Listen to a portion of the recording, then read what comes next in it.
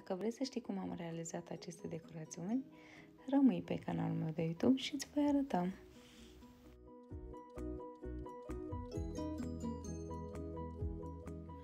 Bună, dragii mei! Bine ați revenit pe canalul meu de YouTube. Astăzi vreau să vă arăt cum puteți realiza o, o bază a tortului cu o formă de silicon foarte, foarte dragă mie și cred că o să vă placă și vouă. Aveți nevoie doar de fondant și forma aceasta de silicon. Întind fondantul puțin și apoi pun amidon în această formă, să nu se lipească.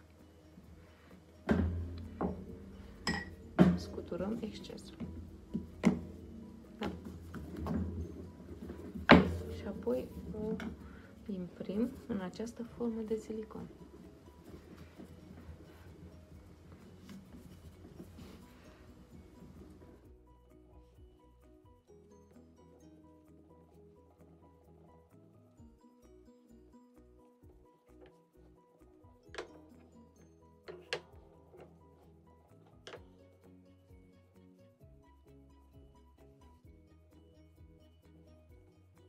Luăm foarte bine de pe margine tot ceea ce este peste formă.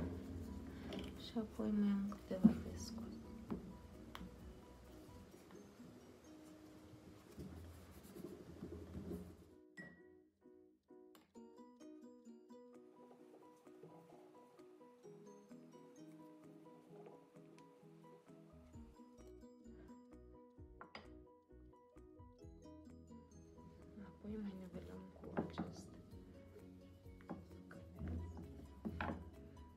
de preferat cel mai bine să folosiți un, un păcăleț, cum se spune, dar din acril, pentru fondant este foarte bine.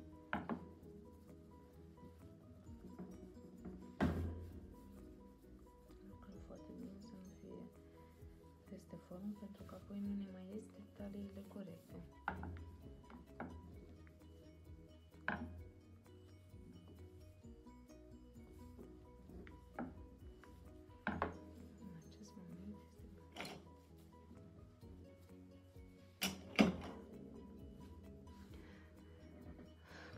fiecare formă, în momentul când băgați fondantul sau marțipan sau ceea ce aveți, trebuie să strângeți puțin și acele detalii o să vă iasă mult mai clare și mai în evidență.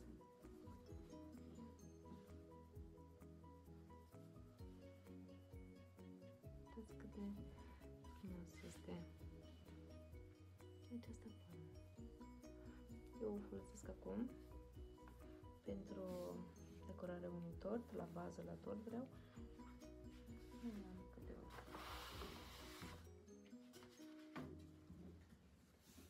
După cum observați cât de deosebite sunt cu aceste perle. Dintr-o singură formă, ce minunății pot face.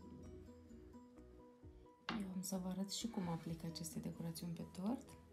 Și un mic secret aș putea să vă mai zic, în momentul când aveți un tort de făcut, e bine să vă apucați de decorațiuni cu cel puțin o zi înainte sau nu, și două. Depinde de dificultatea decorațiunilor.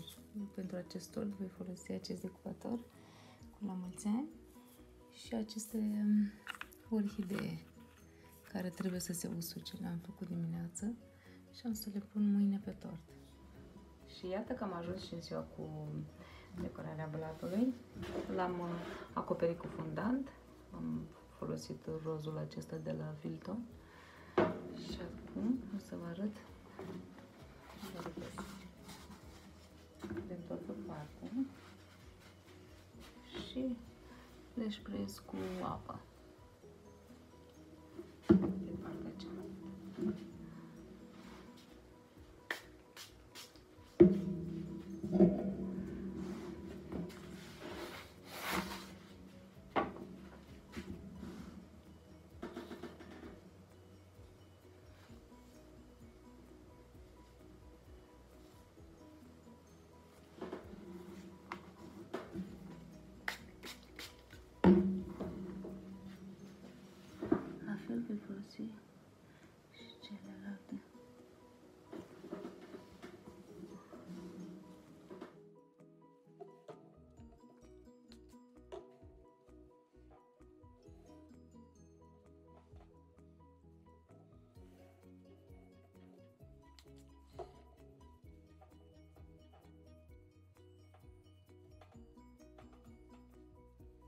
Așa arată bordura tortului meu.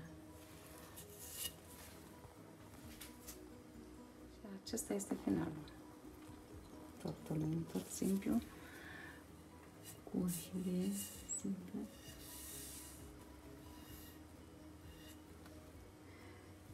Sper că v-a plăcut uh, videoclipul meu și mă bucur mult și vă mulțumesc pentru cei ce se abonează. Așa că vă doresc o zi frumoasă și spor în toate!